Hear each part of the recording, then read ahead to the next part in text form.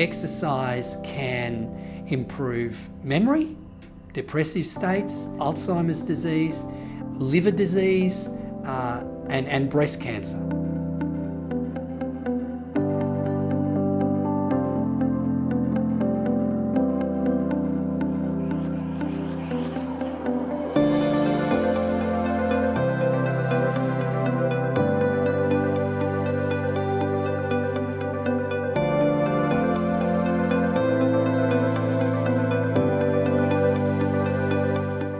Very, very tiny um, pa- uh, vesicles, packages. They contain a lot of genetic information and proteins.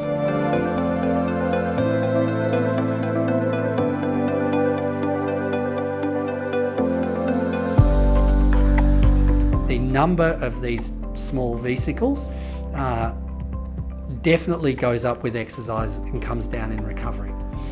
But the actual proteins themselves contained within the exosomes also changes. In the past, people have been looking for single proteins to be trafficked out of the cell in a specific way.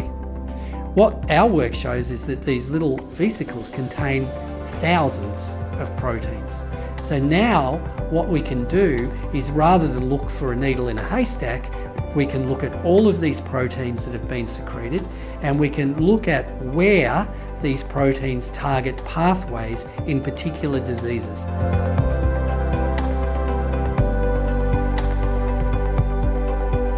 And the epidemiological evidence is very clear. If you suffer from liver disease and you exercise, that your liver is in much better shape. So we, we think that exosomes play a big role in this.